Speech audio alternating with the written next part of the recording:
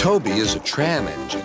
He has cow catchers and side plates and doesn't look like a steam engine at all. He takes freight cars from farms and villages to the main line and is cheerful to everyone he meets.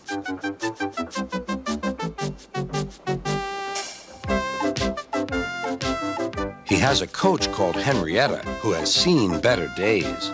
It's not fair at all, she grumbles, remembering that she used to be full and nine cars would rattle behind her.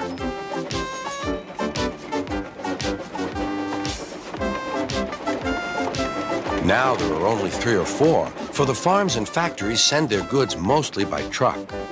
Toby is always careful. The cars, buses, and trucks often have accidents. Toby hasn't had an accident for years, but the buses are crowded and Henrietta is empty.